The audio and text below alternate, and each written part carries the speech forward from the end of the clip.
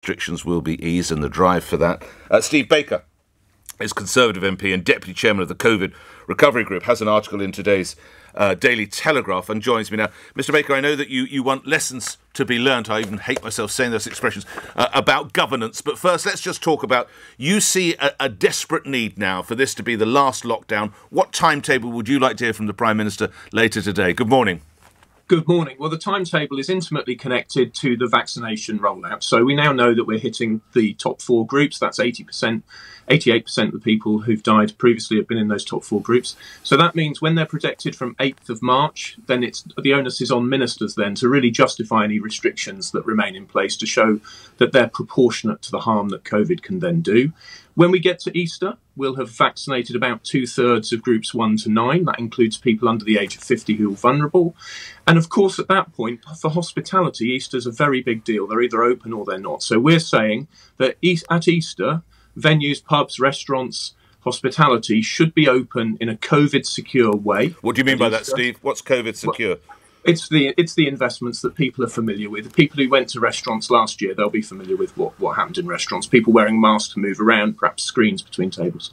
And then come 1st of May, well, we know that uh, the government is promising to have vaccinated groups 1 to 9 by then. So really, we think the starting point must be that all legislative restrictions should come off then. And really, if ministers want to keep restrictions in place, the onus is on them to justify restrictions at that point.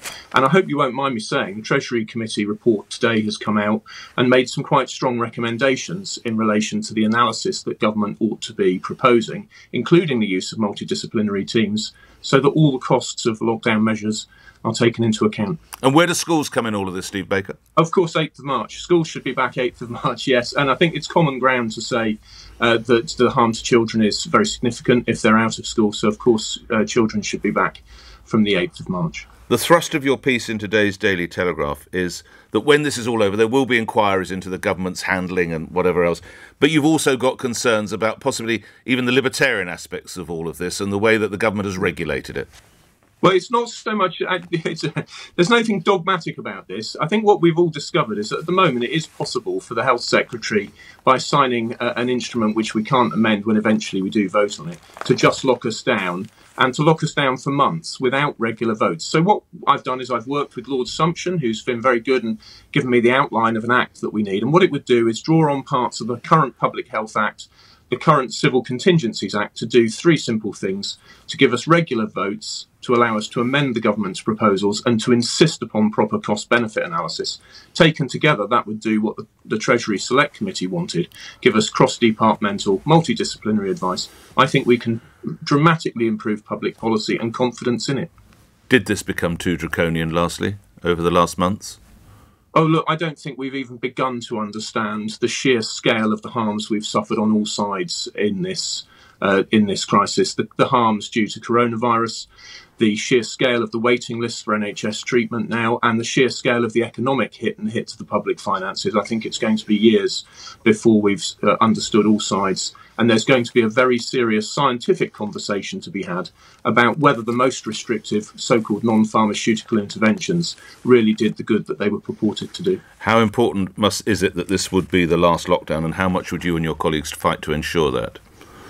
Well, I think we've all got to be pragmatic and we've all got to cross one bridge at a time. But at the moment, in the short run, the crucial point is is the vaccination schedule. So we know by the end of April, those groups one to nine will be vaccinated, including those vulnerable under 50s. That means that there, there really is very little justification for any legislative uh, restrictions after that. We'd like to see legislative restrictions removed, and it's really the onus on the government after that uh, to justify what it does. And in the longer run, we really desperately now need a new Public Health Act to make sure government must justify its policies really much better in future.